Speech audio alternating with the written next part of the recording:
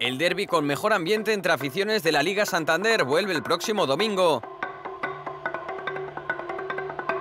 Athletic Club y Real Sociedad se enfrentan en el nuevo San Mamés, en uno de los choques más bonitos del calendario.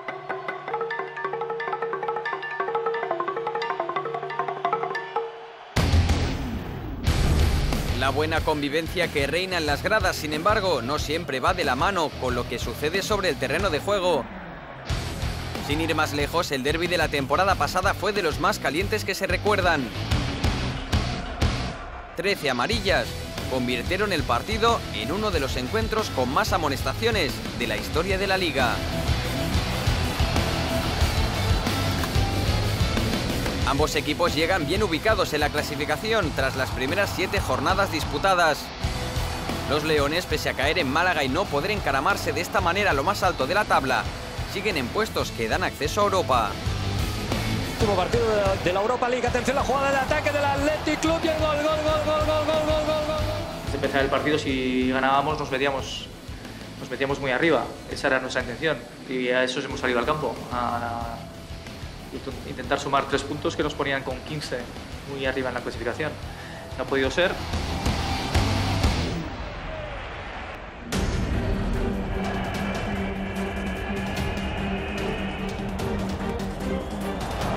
Pese a la histórica superioridad del Athletic Club en los derbis, los duelos más recientes tienen color blanquiazul. Dos empates y dos derrotas en las últimas cuatro temporadas hacen que el duelo del domingo llegue con más necesidad para los locales. Para encontrar la última victoria bilbaína hay que remontarse a la temporada 2011-2012. Los entonces dirigidos por Marcelo el Loco Bielsa se impusieron por 2-0 con dos golazos de Markel Susaeta en especial el que cerraba el encuentro. Ahí está, pierna derecha. Gol, gol, gol, gol, gol, gol, gol, gol, gol, gol.